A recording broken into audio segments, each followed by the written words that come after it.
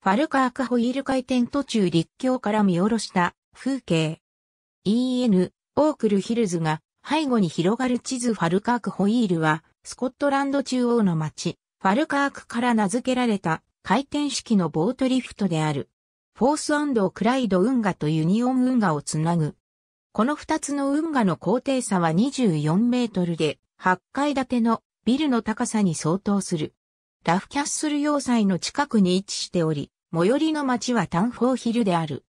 2002年5月24日、ファルカークホイールはエリザベス2世の王位就任50周年記念の式典の一部として開通した。ボートが水門をこじ開けたため洪水が発生し、開通は1ヶ月遅れた。建設は RMJM が受託し、初期デザインはニコル・ラッセル・スタジオ、設計はビニー・ブラックベッチが言った。それタンシュバシーモリスン・ジョイント・ベンチャーがホイール部と受け皿部分、運河の新設部、アントニヌスの頂上下のトンネル、水道橋のデザイン契約を取得した。ジョイントベンチャーはバタリーエンジニアリングにホイールのデザイン、建設を委託。バタリーはホイールの建設作業をすべて引き受け、デザイン作業を実行するため自前のチームを立ち上げた。トニー G& パートナーズが建設デザイン責任者となり、MG ベネットアソシエイツがホイールの機器、伝送の設計を行った。ホイールの直径は35メートルで、左右の腕は中央の軸から15メートルほど。ケルトの相当王の模した形をしている。この2本の腕が2組、25メートルの間隔を置いて、直径3.5メートルの軸に取り付けられ、2つのケーソンはこれらの両端に取り付けられており、それぞれの水の容量は8000エーガロンである。ケーソンの重さは、船を乗せている時と乗せていない時に関わらず600トンを保っている。水中の物体は、その物体が押しのけた水の重量だけ軽くなるというアルキメデスの原理の通り、ケーソンから押し出された水の重量が、ボートの重量と全く等しくなるためである。これにより、ケーソンの水位を揃えるという単純な手順だけで常に、ホイールのバランスが保たれるため、巨大な重量とわずかな動力にもかかわらず180度の回転を5分半の速さで終えてしまう。動力は 22.5kW の電気モーターで、4分の運転に必要なエネルギーはわずか 1.5kW 時で、これは夜間8つ分の水を沸騰させる程度のエネルギーである。ファルカークホイールは世界唯一の回転式のボートリフトであり、スコットランドの技術上のランドマークとなっている。イギリスにはこれ以外にもアンダートンボートリフトがあるが、ファルカークホイールはバランスを保った2つのタンクを互い違いに上下させるという同じ設計思想の発展系であり、また回転機構は完全にファルカークホイール独自のものである。ファルカークホイールはダービーシャー州リプリーにあるバタリー、エンジニアリングによってミレニアムプランの下でフォースクライド運河とユニオン運河を主にレジャー用途のため再結合させるために建設された。この二つの運河は、以前は11の閘門で接続されていたが、1930年代からは使われなくなり、埋め立てられてしまっていた。ミレニアムコミッションは、グラスゴーとエジンバラをつなぐ中央スコットランドの運河を再生することを決定した。運河をつなぐ校門のデザインがいくつか提出された中で、ファルカークホイールの構想が採用された。その他多くのミレニアムコミッションのプロジェクトと同様、カフェやコンベンションセンター、売店などが集まったビジターセンターも併設された。優勢歯車機構の外観ホイールは直径4メートルのベアリングに支えられた軸ごと回転する。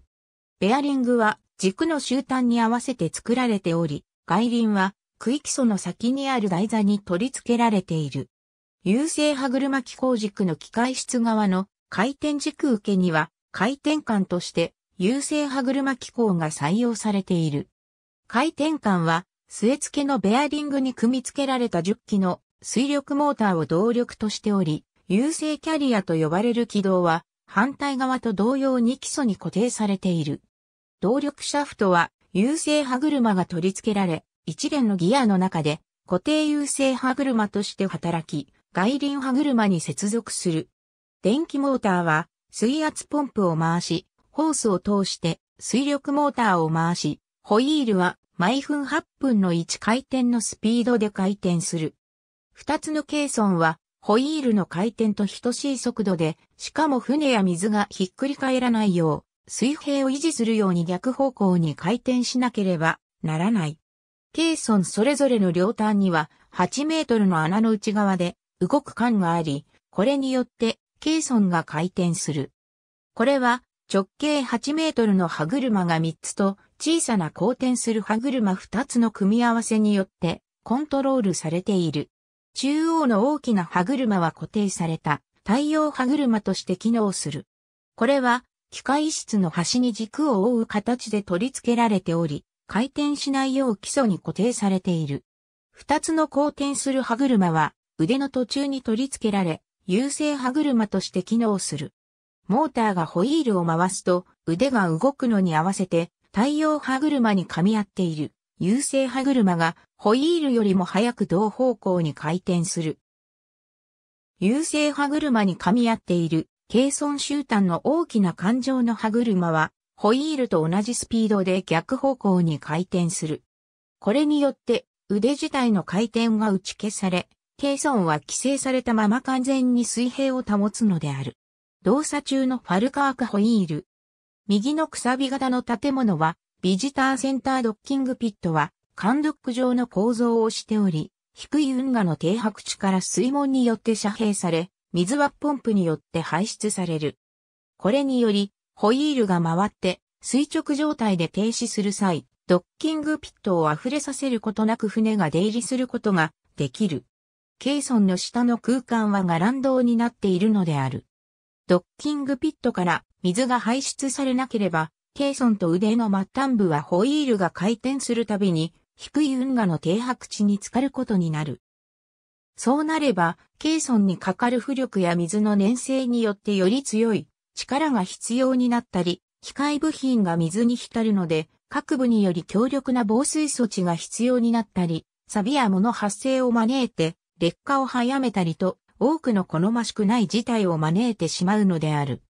ユニオン運河をファルカークホイールまで接続するルートには、もともと終着点だったマクスウェル港からファルカーク、ホイール南部に連結する新設停泊地まで完全に新設される運河も含まれていた。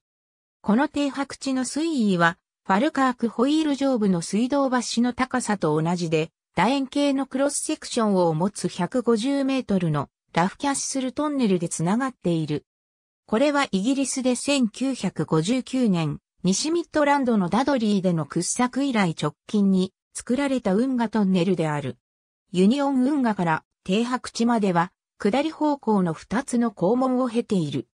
このトンネルはアントニヌスの頂上の考古学的遺産を保存したまま、地下を通るために必要であった。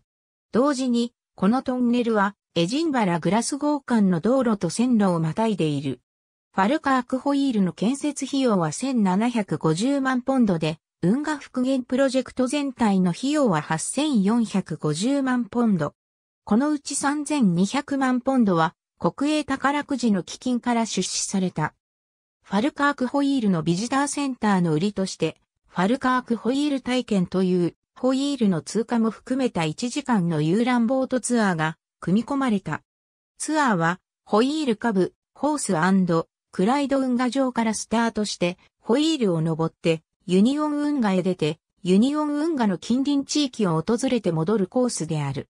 2008年の時点ではツアーの価格は大人8ポンド、3歳から15歳の子供は4ポンド25ペンス、3歳以下の子供は無料。高齢者割引が6ポンド50ペンス、学生、UB40 割引が6ポンド50ペンス。家族割引が大人2人と子供2人で21ポンド50ペンス。20人以上のグループで10%割引となる。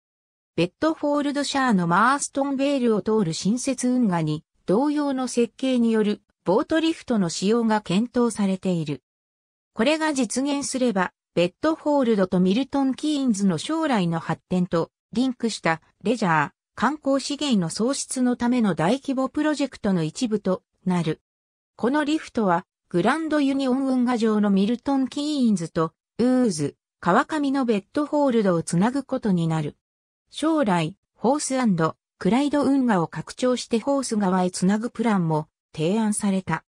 このために2つのボートリフトが作られる予定で、現在ファルカークホイールの停泊地に見られるケルピーの頭をモデルにして35メートルの馬の頭のオブジェが取り付けられる予定である。